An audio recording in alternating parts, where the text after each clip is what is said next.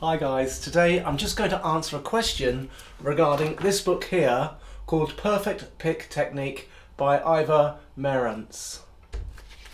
The question asked relates to page 19 of this book. When you actually alternate picking, your hand is moving along this line.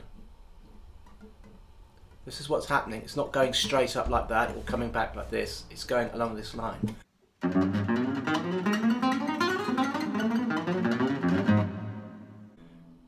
When you understand this, it's very easy to play scales and arpeggios and things because you just follow this line. And remember to come up on your upstroke because it's more than likely going to be up, skip over, pluck down, or down, skip over, pluck up. Okay, as you can see, this is the line. So to pluck the strings, you can see that the hand will be in this position for the first string. For the second string, third string, fourth string, fifth string, sixth string. That way it's no bending and twisting and you know silliness. It's just very very simple.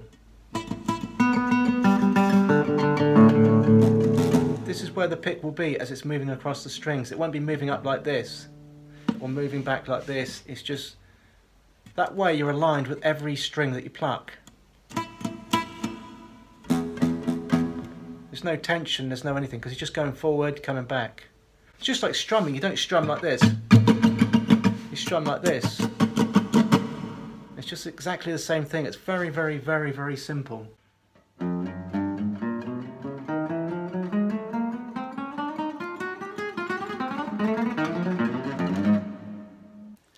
Most people have difficulty when crossing the strings. So for instance, it will either be down, you skip over to pluck up to the next string.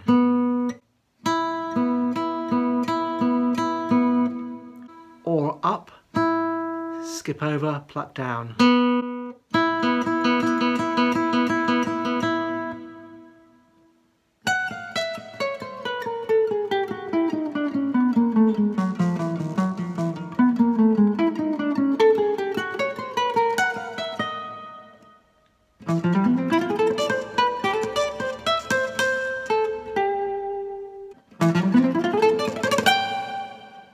Doing these exercises, I'm just floating along this line. I'm not pivoting like this.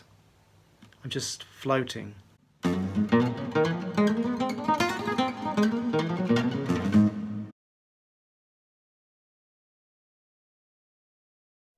Anyway, if this video was of any use to you, then please smash the subscribe button, smash the like button, click the notification button, write a comment in the comments section, and I'll see you all in the next video. And thank you very much for watching.